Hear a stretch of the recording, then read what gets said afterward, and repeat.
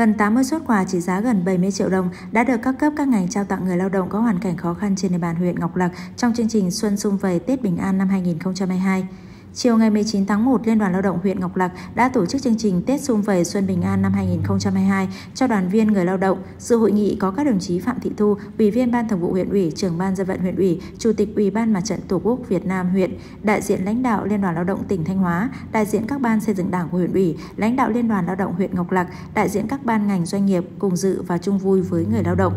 Tết Xung Vầy Xuân Bình An là chương trình mang ý nghĩa nhân văn sâu sắc, thể hiện sự quan tâm chăm lo của các cấp các ngành các doanh nghiệp đối với người lao động. Chương trình được tổ chức thường niên đã góp phần mang một xuân ấm áp hạnh phúc cho đoàn viên công nhân lao động. Những năm qua, công tác chăm lo bảo vệ quyền lợi ích hợp pháp cho đoàn viên, người lao động luôn được các cấp công đoàn huyện Ngọc Lặc quan tâm chú trọng. Công đoàn huyện đã chỉ đạo công đoàn cơ sở thực hiện tốt việc quan tâm chăm lo đến đời sống của người lao động, giả soát tổ chức thăm hỏi, tặng quà gia đình đoàn viên có hoàn cảnh khó khăn, bị tai nạn nghề nghiệp, trao kinh phí hỗ trợ xây dựng mái ấm công đoàn với mục tiêu bảo đảm để mọi đoàn viên người lao động được chăm lo Tết nhất là đoàn viên, người lao động có hoàn cảnh khó khăn trong dịp Tết nhâm dần 2022. Liên đoàn Lao động huyện đã triển khai các hoạt động chăm lo Tết năm 2022 cho đoàn viên công nhân viên chức lao động toàn huyện. Thưởng của công nhân lao động tùy theo thâm niên làm việc tại doanh nghiệp mức thưởng từ 200.000 đồng đến 3 triệu 300.000 đồng trên người. Tặng quà Tết cho người lao động tại các doanh nghiệp 4.116 suất trị giá 1 tỷ 265 triệu 800 ngàn đồng. Mỗi suất quà trị giá là 300.000 đồng đến 500.000 đồng,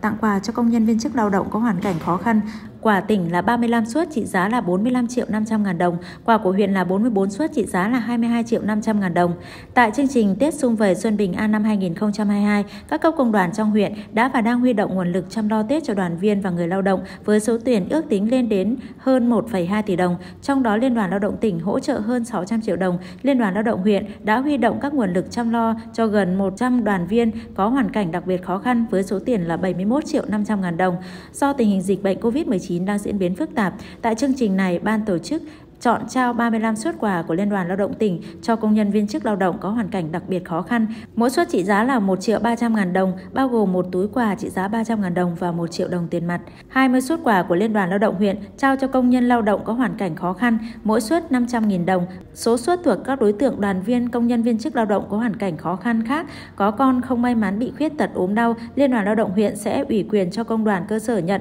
và trao tận tay cho đoàn viên, người lao động tại chương trình Tết xung vầy cấp cơ sở. Chương trình nhằm động viên chia sẻ với đoàn viên công đoàn, người lao động có hoàn cảnh khó khăn, qua đó tạo động lực khích lệ đoàn viên người lao động tiếp tục vươn lên ổn định cuộc sống, hoàn thành tốt nhiệm vụ được giao.